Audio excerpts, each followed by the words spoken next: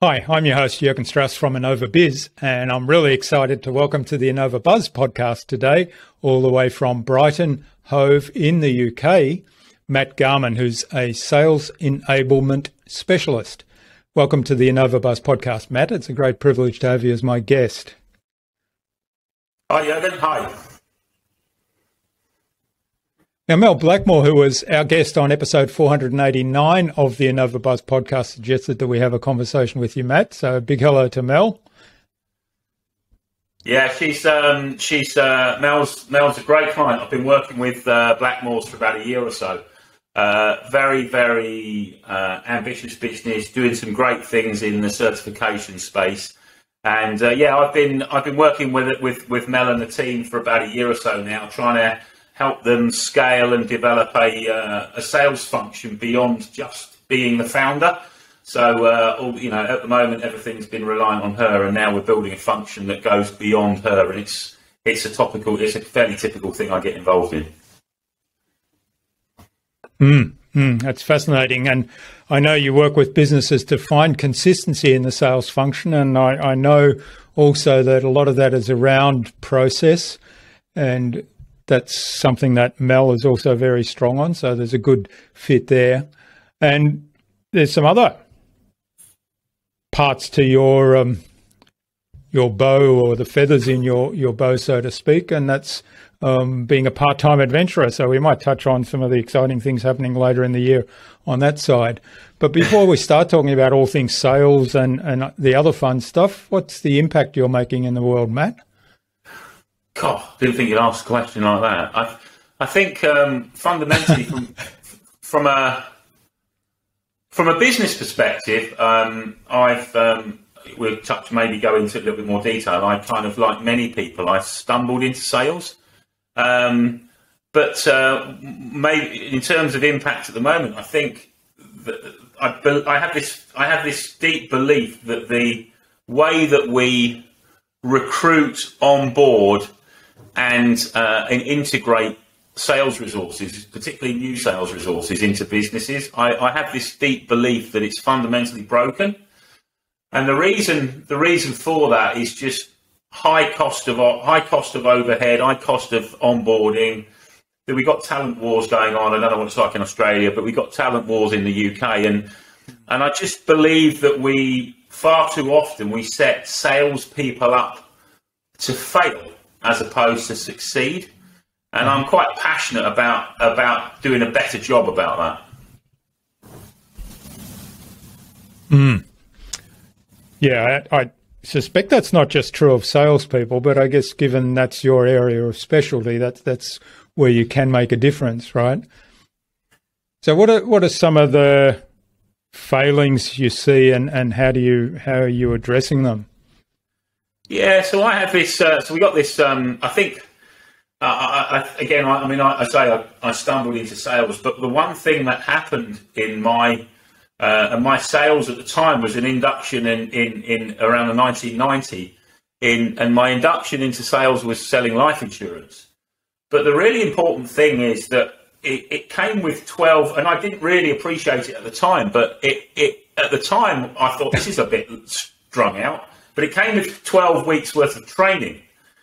And um, and anyway, and I was, and, and, so 12 weeks, and then that was actually a commission only job. It didn't even have any salary. And yet we, they invested in 12 weeks of training with us. And and I was speaking at an event earlier on in the year, and, and, and obviously this whole thing about induction, immersion, and onboarding, uh, I'm very passionate about. And, and I suggested to the audience that was mostly CEOs that we've shortcut. We try to shortcut too many things in our life, and um, and and particularly in our business, we try to get faster and faster before actually laying down the foundations. And and I actually suggested that there may be some sales resources that are working for some of those CEOs that maybe haven't had 12 weeks of sales training in their careers, let alone in their induction and onboarding. Mm. And um, and yeah, unfortunately uh, I, I, say I can only speak for sales, but uh, unfortunately, we um, uh, because somebody seems to have had a sales role before, or, or we just assume that people can absorb all the information necessary for a um, for within a sale to sell on behalf of an organisation. We just it's like we we just think it's going to happen through osmosis, and uh, you know we sit somebody in a chair, we maybe sit them next to yeah. somebody, we give them access to the CRM system, when we pretty much expect people to get on with it. And um, and I say I just think it's I just think it's I, I, it beggars belief, particularly with the the costs involved with uh, with with recruitment, senior management time, interviewing, all these sorts of things that we we then just rely on them, you know, hitting the road, you know, sticking or twisting sort of thing. And it's uh, that's one of the things I'm, I'm I'm passionate about trying to change. Hmm. All right. Well, what? Let's talk a bit more about your work specifically. So, how are you going about changing that? Well, I've been running a before before um, before I ran a sales consultancy. I was I, I grew ended up growing and selling two tech companies of my own, and one of the things we were we were really really good about, and one of the one of the things that the acquiring business were interested in is the structure and the disciplines that we've embedded in the business. So since that, since selling the second company, um, I've been working in sales consultancy for uh, I think we've, we've worked since, since since the end of 2012, so, and we've worked with over um, we're up to about 120 clients we've worked with. And what's really interesting is so many of those organisations say to me that they've got sales challenges that maybe I don't know they they they don't do enough training, um, they don't have consistency amongst the sales resources. So somebody's always top of the charts and somebody's always dragging the dragging up the bottom. Um, we never close what we forecast in the in the pipeline, you know, and, and probably very poor qualification or discovery. And and, and for me, I, I typically ask a client, um, and this date this dates back to this dates back to the life insurance days when we had a ring binder, which we referred to as the playbook. And I actually say yeah. to I say to clients, it's like, well, you've got challenges. Um, what's in the playbook? And you'd be amazed quite how often I just get blank faces. It's like, what do you mean a playbook? And um, and it's mm-hmm. I kind of the way I ex- give an example is like, well, if you had um, a project manager in your organisation, you know they would probably have undergone some sort of Prince two methodology training, or if it was manufacturing, they would go through some MRP. There'd be a process, and even even even accounting and bookkeeping, there's a double entry. So there's a there's a tried and tested way of doing things, and and it just it's just we, we seem to um, we seem to have this um, hire and fire mentality when it comes to sales resources uh, because we think we have this this mindset quite often that it's a transient position. Oh, I'll just go and hire a sales resource. Um, and, and, and, don't get me wrong, I think maybe some sort of previous um, unscrupulous salespeople in the past in the 80s style of selling may have may have influenced that. I don't, I don't know, but um, but yeah, we seem to, yeah, yeah. position it as a little bit of a transient role, and, and, and, therefore it doesn't necessarily get the investment on quite a lot of within quite a lot of organisations that it needs to. Mm-hmm. Yeah, and one one of the things also in in that kind of situation is particularly for bigger companies they have a sales team, and, and so each person on that sales team has their own way of doing things. So there's no kind of coordinated approach. And if somebody's working with a customer and, and for some reason another salesperson spends some time working with that customer, whether it's to cover them on holidays or illness, then all of a sudden the customer's thoroughly confused because no, this is not the way we've been doing it. Yeah, well, it's interesting. It's a very, very good point you make, Jürgen. I think one of the um, I, am not just and just to be clear, I'm not, I'm not, I'm not for turning sales people. I'm not I'm not for turning individuals into Daleks. I'm, I'm, you know, I want, I, am yeah. very much, uh, you know, I want to, I want to see people's personality and and and and um, personality and styles. I want to see those develop. But I do believe that it needs, you know, there, there are there are some fundamentals and there are some ways that, you know, all organisations, um, you know, this is the way that we do stuff. You know, these are the these uh, as an, a classic example of, um, of, of, of of when I, I, you know, it's like, well, I was I was with, out with a salesperson probably about probably about three four months ago, and I thought we were going with this with this salesperson for a closing meeting and uh, to, to, to close a piece of business, and um, and the, the client quite legitimately and quite rightly came back with some objections as to you know so what about this, what about that, and it was surprising how much that particular sales resource floundered. And when we came back, we actually were okay. So we, we ended up walking away with the order, which was great. But in the car, we were we were actually going through the reflection phase of it, and I said, well there were some objections coming up there, and you didn't have particularly robust responses to them. Now, the chances are, yeah, there's always some rejection. There's always, you know, cost, time, capacity. You know, there's, mm. there's, always there's always the same. You know, there's always some fairly typical responses that come back from prospects prospective prospective buyers. And one of the things, it's like, well, why don't we? Do, why don't we? Why don't we understand what these are, digest them, come up with high quality, robust responses? that hopefully further engage the prospects as opposed or customers as opposed to just you know it's it's not good enough these days to just turn around and say well we're nicer than the competition we're better than the competition we have to have something a lot more rigorous yeah. and a lot more robust and and, and and and when I talk about when I talk about a playbook you know, I, I, expect I expect people to be able to uh, to to uh, to operate in a cohesive way. And, and, and, the other thing is that, you know, when you've got people that are top of the charts and some people that maybe not quite performing, I have this, this mindset. It's like, well, we may not be able to, we may not be able to uh, replicate the top performer in terms of personality and style or charisma. But what we can do is we should be able to model the masters, as in copy the, the, the disciplines that that person does or those people do, and copy the, resp- the robustness of their responses, the robustness of their questioning, and, and basically build, and which is going back to what I do most of the day job, is help a client, help a, an organization build a playbook that represents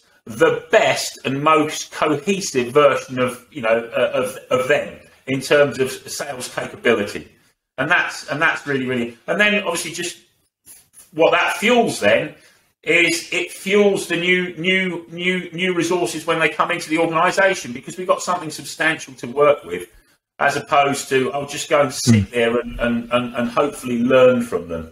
Because obviously so much of what we can do within a sales function can be disciplined, can can be disciplined and it can be repetitive.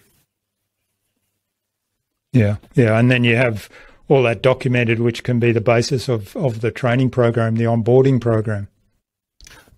Totally, and and, and um, I have this other. I don't know whether it's a little bit of a utopian view, but um, I was looking at some, um, you know, some statistics that was coming out of the states. I'm I'm quite I read quite a lot about sales in general, and you know, the um, some of the reports that I re- was reading that you know the average tenure of a sales senior sales resource these days is is is 19 months, and it's been falling. It's actually stabilised at the moment, but it's actually yeah. been falling for quite some time. But if you say 19, if you said 19 months, and I, I know some people that they've never not been in one role for 19 months, but anyway, that's those were the numbers that I was presented with. And interestingly, the same interestingly the same um, the same report um, sorry, the same uh, same author and the same same outlet. Um, a, a, month or two later, they suggest they, they they had a poll that was about the um, the ramp up time. So, how long does it take for a net new sales resource to be useful? Now, I don't mean necessarily me mean being paid back all the original investment, but actually contributing mm. to the figures. Uh, and the, the, they came up with a with a kind of nine to ten months and this was a panel for, I think it was about 3,000 sales leaders. You know, they all kind of, we got to about an average, an average, nine to 10 months.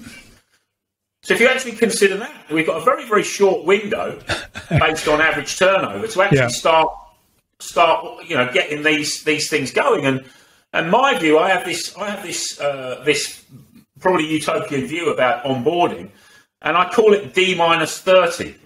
So, you know, if you, if you make the assumption that somebody's going to accept a job, you know, let's just say we shook hands and uh, we shook hands and, and uh, on, uh, on on me joining your business, Jurgen.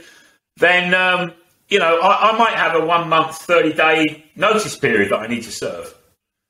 Mm. But wouldn't it be a great idea if you were able, when you off when we shake hands, that you actually provided me with a log on to your onboarding environment and your sales playbook digitized so that you've got digital access to all that material. And I actually did this with a client recently. So, so we onboarded two new uh, uh, sales development reps, um, and we actually tested them on the day that they walked in the office. We actually tested them on the sales playbook. And if you think about that, how much of how how how um, how much of an advantage they've got and how engaged they are with the organisation. Mm. Not and also culturally, as you know, some cultural alignments as well. So introducing to the manager and those sorts of things. But but so we've got a one month. You know, we bought ourselves a free month basically of onboarding. Uh, yeah. Unfortunately, what we do is we sit somebody down on a chair, we give them the CRM, we give them the log on, we ask them to make a few phone calls when they're happy and then probably what happens in all too often in three or four months' time, you know, Jurgen meets Matt in the corridor when it's quiet at the end of the day, and Jurgen says to Matt, "Do you know what, Matt? It's kind of not really working, is it?" And all of that becomes just a big, big waste of time. And um, and uh, yeah, and we go back to square one, and we've probably we've probably swept, I don't know, in the UK, we've probably swept fifty thousand pounds off of the taken fifty thousand pounds off the P and L for the, for that period of hmm. time. Mm. So, to me, as I say, I said at the beginning, I just fundamentally think that the way that we've been going about things won't serve us in the future.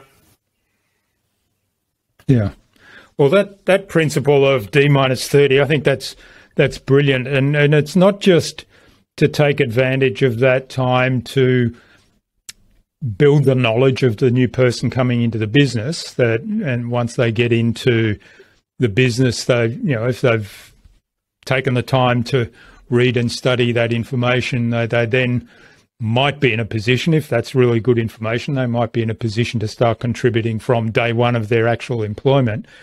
It's actually psychologically i think really great because i imagine and i've been in this position a couple of times where i've been given stuff where I've started a new job or I've been about to start a new job. I've had an offer, I've accepted the offer. I've had four weeks' notice. So during that four weeks' notice, of course, I'm switching off from the last thing. I can't wait to start this new thing. And now I've got all this stuff that they've given me already.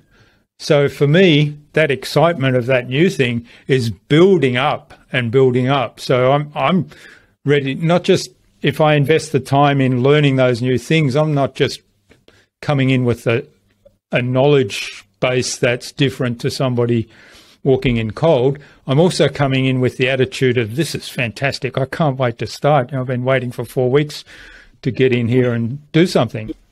We massively, massively underestimate the uh, the emotional involvement of a net new hire. Um, I'm not allowed. I'm not going to. I've written a couple of books, and sorry, it's not a plug, but the second book I wrote, which is which is actually called "Why So Many Sales Hires Fail."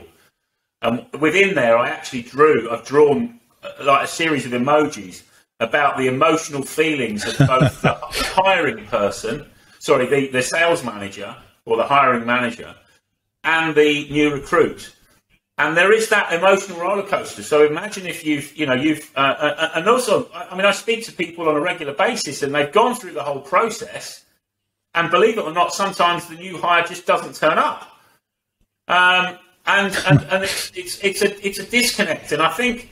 I think what I, my, I have this belief that the onboarding starts the moment that somebody accepts the job, um, because that and unfortunately, what, what typically happens is that one month you know that one month between between accepting the job. Uh, let's just, I mean, it can be less, it can be more, but let's just say it's a month. That one month between accepting mm. the job and the day that you physically turn up on site, there's all sorts of emotions and thoughts are going on. You know, the, the, the incumbent employer may come back with a counter offer. Um, there may be an alternate, mm. another another angle and stuff like that. So, so to me, it just makes perfect sense that you engage that person both um, academically, mentally, within by by giving them access to your, your, your tools, your methodology, your playbook, But also, I, I, you know, I call it a buddy up. You know, make sure that you've got a buddy. They've got a buddy within the business that they can rely on. Go out for a coffee in the run up if you can, or a beer or something in the run up, because you want that. Though you want those people to feel part of it. You know, and I know lots and lots of there's some amazing organisations these days that do some fantastic cultural change things and, and in, in, engaging, and, and that's a that's a great thing. But you know, I just I just see that, and, and particularly with sales, it's like that that whole month, that whole month where it's like, you know, have I made the right decision? Is this right for me? You know, I've now got my partner, my other half. We all, you know, we've all got pressures, and we all live, live um, hmm. busy lives.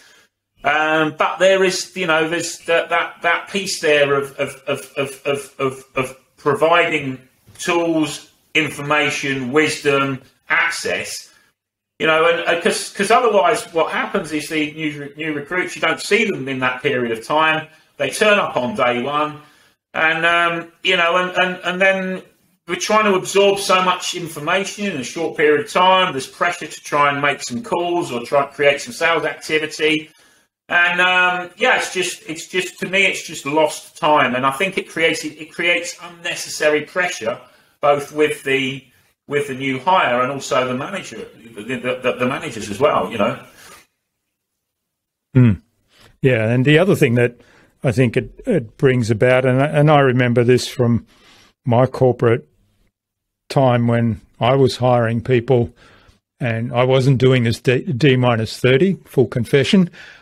Um, what sometimes happened was that somebody would have their first day, and then I needed to free up some time to spend with them. And inevitably, the week before or the day before they started, something would come up that kind of demanded my full attention. So yeah. I was not in a position to actually spend any time with them. And of course, then if you look at that from the point of view of the new hire, they come in and oh, nobody's nobody's got time for me, or the important people haven't got time for me. So it's it's a really bad start.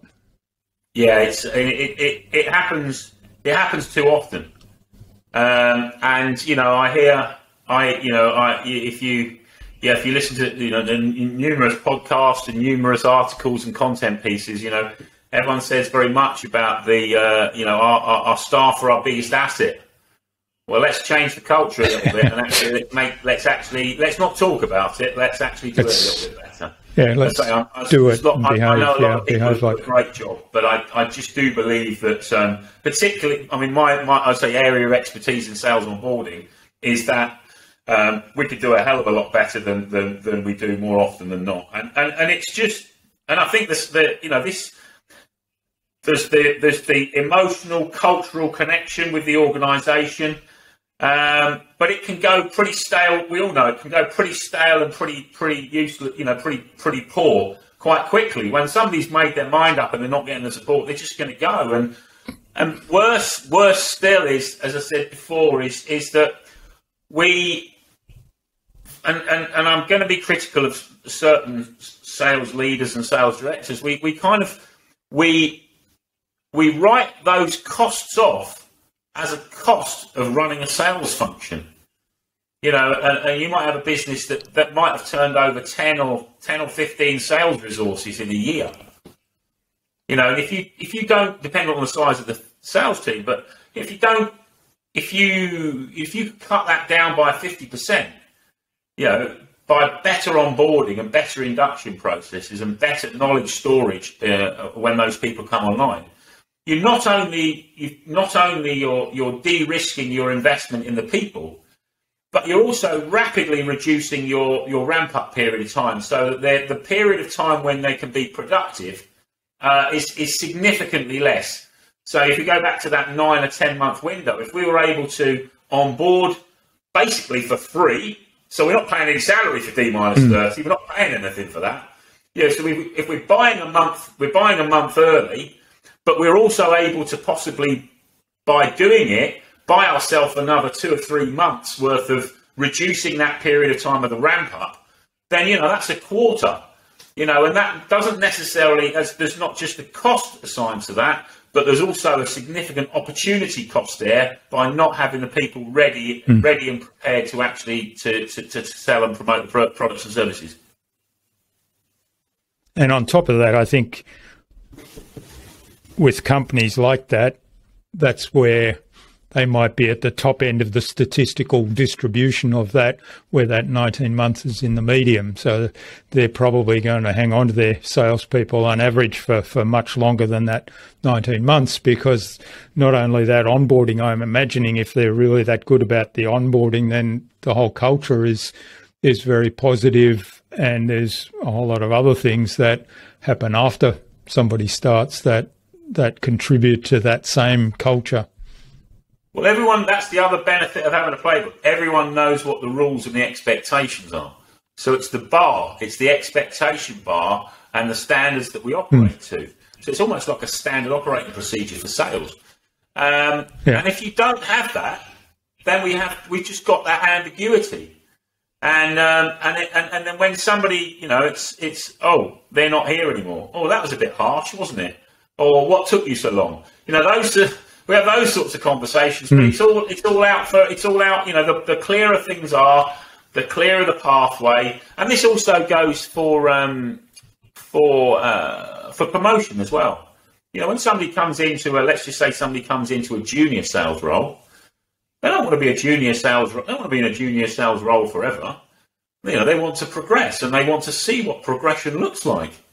And so, imp- what's really, really equally important is, is is showing somebody what the runway looks like. You know, if you do really, really well here, this is where you go. And if you do really, really well there, then you go up here. And if you do really, really well there, that's what that's what it looks like moving forward. And uh, so, so providing not only the onboarding but also the runway as to uh, to develop. Now, granted, that's a little bit more difficult in a smaller organisation Mm. But in a larger organisation, it should be a lot. We should be able to be a lot clearer on um, on on what that that that roadmap looks like. Yeah, that's right. But paradoxically, I think you know my experience has been in the larger organisations that they do that even less. There might be so there might be a kind of secret cabal, if you like, that that gets that kind of treatment, but most people don't. No, no. No, very much, very. Um, I see it very rare. I mean, we. Um, I was uh, speaking for a group over in the UK, and uh, over it was uh, during 2019. Uh, so during the, the 2019, I did. Um, I can't remember. What I think there was about 21 workshops that I hosted that were mostly. Uh, not hosted, but I was asked to speak at. There were mostly sort of CEO uh, networking groups, sort of, you know, 15, 16 people in the room stuff. And um, and I asked about, you know, we asked. I got the same usual sales challenges. The salespeople are rubbish. We don't close on all, all the usual things that I expect to hear. Um, but I actually asked, and I, as I said before, I said, "Well, what's in the playbook?" And um, and and believe it or not, the ninety-seven percent that year of 2019, when before COVID, when we when I was out and about doing doing more and more of these workshops, so um, you know, ninety-seven percent said that they didn't have anything fully documented from a sales onboarding or a sales playbook approach. So, and there were there were three percent. There were three percent, which didn't equate to a large volume. Um, and I said, "Fantastic, well done." I said, "Could you send me a copy of? I'd love to see a copy of what you use." Uh, and I received two copies of things, you know, of, of and, and granted they were they were a lot better than than than, than some.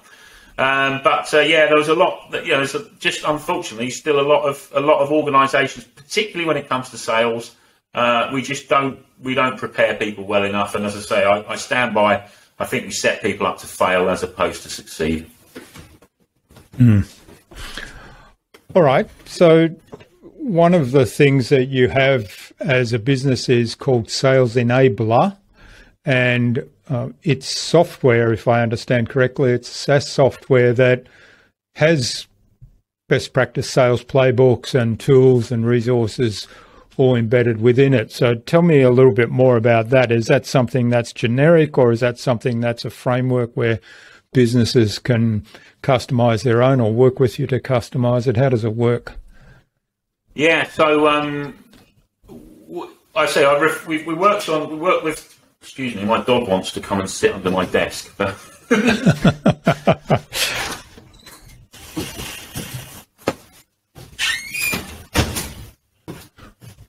Hopefully she'll be okay. She'll be she'll behave now. But um, we um, yeah. So so I reflected on these 120 or so clients that we've worked on, worked with, and um, and one of the things I looked at is like, well, what did we actually do for these companies?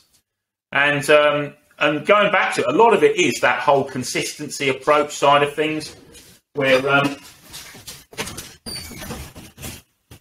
consistency approach and structure and, and all the things that I talked about in the old life insurance ring binder.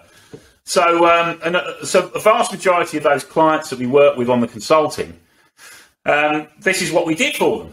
So, um, anyway, a couple of years ago, I started sketching out, well, you know, could we automate a load of things? So, ultimately, what Sales Enabla is, it's a digital sales playbook, which is it's very much a, a platform environment. So it allows you know, we've put a whole a whole heap of suggestions. The latest version's got temp, some of our consulting templates in there. Uh, we've got, um, you know, we can create, you know, best practice libraries uh, and plays. So what happens within the state, and, mm. and everything, everything is customizable, so that, um, as I say, a client or a user of Sales Enabla can basically build the best version of them, and then obviously we share that across share that across the piece. You know, things if there's new case studies or examples, they get inserted as well, and so everyone's everyone's got the information at their fingertips, and that's so that's the essence of Sales Enabla.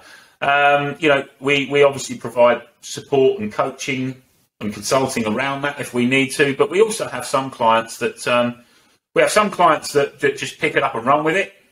Um, and just do everything themselves, completely self-service, which is great. Um, they're typically the ones that are you know, properly invested in in in their sales function because they they see the value of enablement. Mm. Um, and then we've also got some sales consultants that are other, you know, outside of our business, independent sales consultants that use Sales Enabla as their as the reinforcement tool for their coaching and their their their coaching and training that they provide to their clients as well. So a, a, a myriad, but it's ultimately, it's it's it's not you know people say it's like CRM, and it's like no, it's very much about the best practice. Um, and, and, instilling mm. best practice. And then, then also, I mean, we do we can connect to CRM systems. So it, it, in that instance, it kind of acts as a uh, an aid memoir sort of thing for the uh, for the sales resources when they're at a certain part of a sales deal or something like that.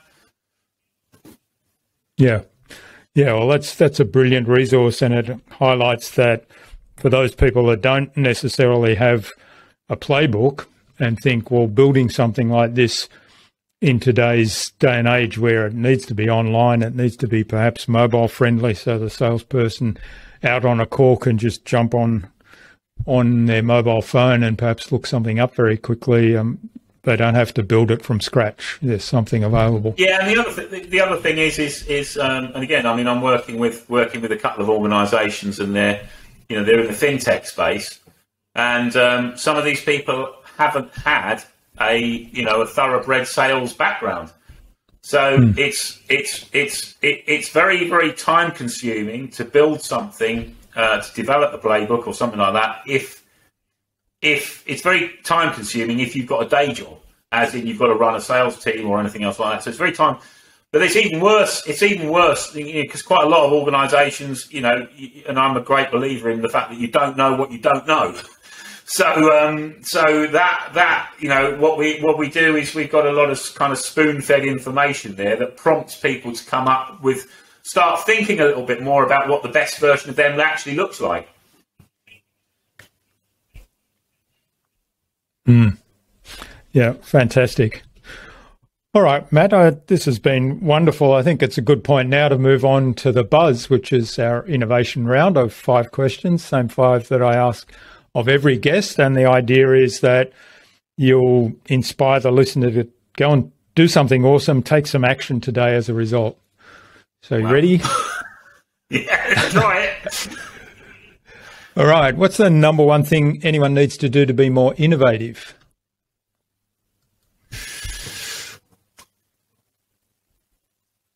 try things, try things, and don't be don't be scared. Don't be scared to fail. Mm. Just don't be run experiments. Yeah, don't be scared. Yeah, yeah, I love that. I I like the idea. I kind of reframe this in the idea of running an, an experiment. So there's no failure in an experiment. There's possibly a result that wasn't what you expected. in which case you ask yourself, what did you learn from that? Yeah, totally, totally. Just um, you know, we're uh, life's a journey, and uh, we never get it right straight away. So uh, yeah, no, don't don't be scared. Don't be scared, and don't listen to the naysayers. But don't be scared to fail. Excellent. All right, what's the best thing you've done to develop new ideas? Um, I never used to be much of a reader, and I made a conscious. I started. Um, I started. I started um, naively penning a few thoughts. A couple of people have said to me before on my sales journey, my business journey, they said to me, Matt, you ought to, you ought to write a book. And then I started penning a load of thoughts. This was probably about five, six years ago. And, um, and they were just scribblings and scribblings and scribblings. And then I, I actually, I was, I had this thought, this this this something came to me one day, and it's like, do you know what? You're not qualified to do this writing a book type stuff because you don't consume enough of other people's quality content. So um, for the last five six years, I've been a, I've been an avid reader and consumer of of, of, of information. Um, you know, some of it some of it self development, some of it sales, some of it business. Um, some of it completely left field um, and sporting. Um, but yeah, so I, I, think the biggest thing that me is I've, I've started consuming a lot more of other people's content. Mm. Mm. And of course, you have written a couple of books since you first started penning those ideas, right? Yeah, so um, so the first one was a bit of a uh, the first one was was the, the culmination of the scribblings, which was a little bit of a journey about my stumbling into sales and actually the importance of of um, of, uh, of, of having sales and structure. That book's called Learning the Ropes, um, and the second book, as I said, which has got me, it started with a few frustrations about onboarding. The second book's called uh, Why So Many Sales Hires Fail. Mm. Excellent, and we'll include uh, links to those two books, obviously, in the show notes as well. Now, do you have a favourite resource you use most often? resource um, for professionally or, or just go a, a go-to resource? Yeah. Um, I don't have a. I don't think I've got a single resource. I've I've um, somebody somebody somebody came up with an idea once um, about probably about ten years ago that we ought to, in the same way that a business has uh, has a uh, some non-execs um, that we ought to have some life, um, some life, a, a, a, a, network. So I, I, have got three or four people in my life who um, I they're my kind of go tos, and mm-hmm. um, I kind of they're they're like my own they're like my own private board if that makes sense. But they're not a board. they're just they're they're people that I I respect a lot I value their input. Um, there's no, um, there's no, um, there's no commercials on that. Or one of them's got some commercials, um, but they're just genuinely people that I know have got my best interest at heart. Now, I generally buy the coffees or the lunch because, I, you know, and, and, so once a quarter or something like that, I just, you know, each of those people, I, I, uh, I try and pick their brains as much as anything else as well, and, and so, so not a single, not a single resource, mm. um, but I'm very fortunate and and very open minded as well, actually, um, to uh, to try and get other people's other people's wisdom because it's it's I feel it's hard. In, it's a hard enough journey that we're all on as it is, without getting, without, um, without, you know, without limiting ourselves to uh, to reaching out to people. Yeah, yeah, and and I guess the that my virtual philosophy, board, I, I will call it. Yeah, I guess that philosophy of that human connection it certainly underpins a lot of what we've talked about today in terms of um, the sales and the process around sales is it's not just a mechanical robot going through the motions. It's there's that human connection um, there, and and you're certainly bringing that in here. Yeah. Now, the next one we may have already covered, but what's the best way to keep a client on track? On, on client on track, um, I think. I think um, one of the, something I something I, I heard in a uh, in a in a sales meeting about 15, 20 years ago, and I use it quite regularly myself. Is um, is when somebody says uh, when you're trying to understand exactly what somebody's looking for, and uh, and they said and I, they said they said like so um, so Jurgen, if you could close your eyes and just describe to me what your definition of success looks and feels like. Okay, if you could just close your eyes and tell me that, then that would be really, really helpful for me. Um, so it's it's something I use very regularly with clients. It's like if you can close your eyes and tell me what you, not only what it looks like, but also what, what it, feels, feels like, like yeah. then I can not only get the functional element of it as well, but I can get the emotional element of it as well. And and then then when mm. it hmm. comes to you know, it's like, well, this is what you said. Uh, in terms of keeping the client mm. on track, this is what you said you wanted, and this is what you said you wanted to feel. Um, and I, look, we can always change our minds. That's absolutely fine. But this is where we started from. Mm. Okay, this is where. So we started with you saying that. That gave us an, an, an indication of what success looked and felt like. So hopefully somewhere on that journey, and it's it's a it's a benchmark as well that we can always come back to. Hmm. Yeah, great question. I love it. All right, now what's the number one thing anyone can do to differentiate themselves?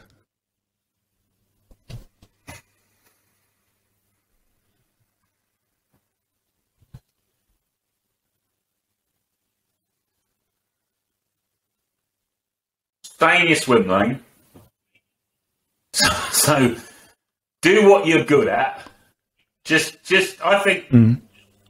try and do what you're really good at, um, and um, and and be yourself.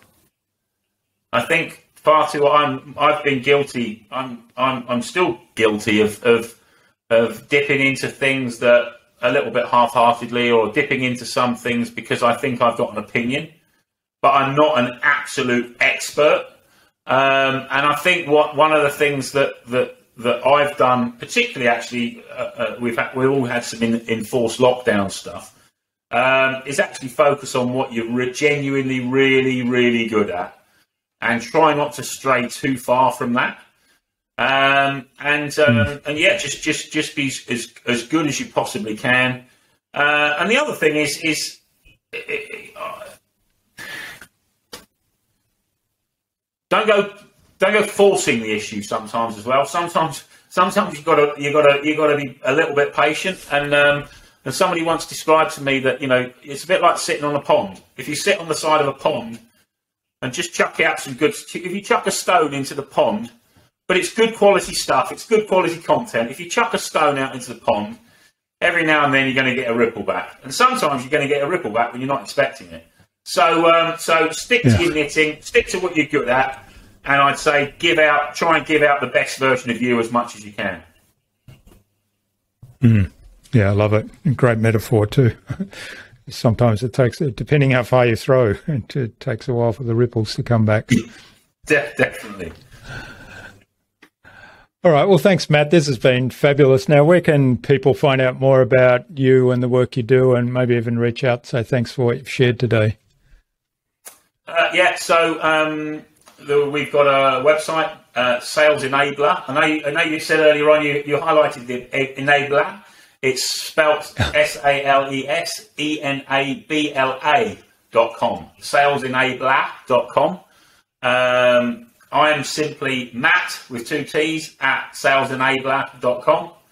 Um, I've got a Twitter handle which I haven't used much lately. Is uh, Mr. Matt Garman. Um, so yeah, those are those are the those are the best best ways of getting in contact with me. Excellent, and we'll post those in the show notes too. So, do you have some parting advice you'd like to leave the listener today? Something that they can immediately turn into an action from today's conversation?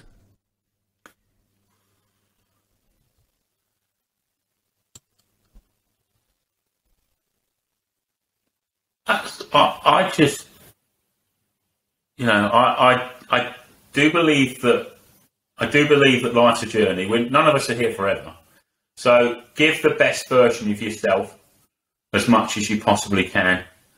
Um, give more than you take in whatever you do. I think um, that's something I try and I try and stick to. So give more than you take, um, and just don't be scared. Just go in there, and have a crack, and mm. you know if it if it doesn't work out, then then it doesn't work out. You know, but um, yeah, don't be scared. Just try it. I say to the children, you know, we we we um, far too often my children my ch- children in their early teens, and sometimes they're a little bit fussy when it comes, or they have been in the past a bit a bit fussy when it comes to food, and they go, Dad, Dad, I don't like it, and it's like you haven't tried it. So um, yeah, yeah, yeah, but I don't. It's like well, you cannot tell me and and my one of my things with the children is feel, taste, touch, smell as many things as you can in life. And there are going to be some things you like, and there's going to be some things you don't like. But until you've tried it, you can't pass comments. Yeah. So just go and go and have a go at as many things as you possibly can. Love it, and that's a great analogy as well, and I can relate to that uh, from my days of raising children which are behind me now. So I'm, I'm survived all that. well done. All right. Finally, Matt, who else should I bring on the show and why? Oh, wow. Um,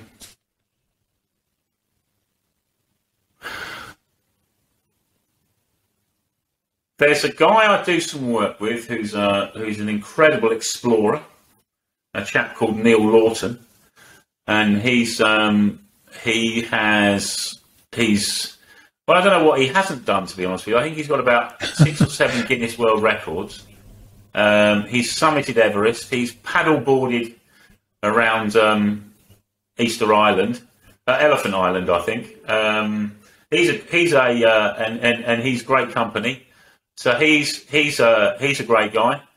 Um, there's a there's a, a friend of mine who I've been fishing with, a gentleman called John Creamer, and John is an expert on reading people, mm. and uh, he's very very good company. So um, he he he would be a very very good uh, very very good uh, interview. Um, yeah, those two those two would be quite interesting characters. Excellent. Well, John maybe and Matt. Talk, maybe uh, talk about that offline or separately. Yeah, we'll see if we can bring those on the show. And it reminded me that um, you've got a big adventure coming up as well, uh, rowing across the Atlantic later in the year.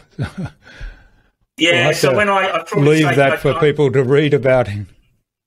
Yeah, probably. Uh, I, I, again, I, am my wife complains about it. It's like you, you know, you said you like to feel, taste, touch, smell as many things as you can in life. It's like surely at some stage that uh, we can refrain from doing the crazy stuff. But no, I've done outside. I've done some sporty challenges, the Ironman and the Channel Swim and bits and pieces. But my current my current project is uh, I've put a team of uh, I've put a team of three dads together, and uh, and we're rowing across the Atlantic Ocean in December of this year.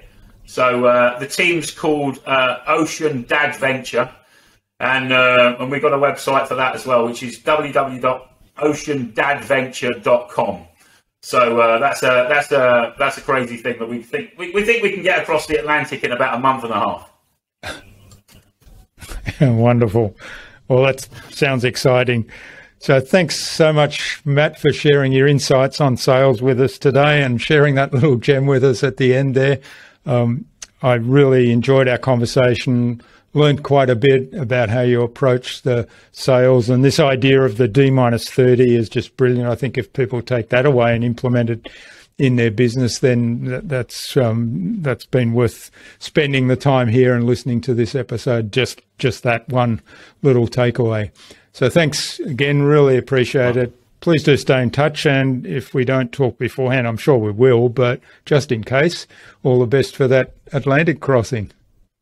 Thank you very much. Thanks for, thanks for inviting me to be along. That's great. It's been good fun.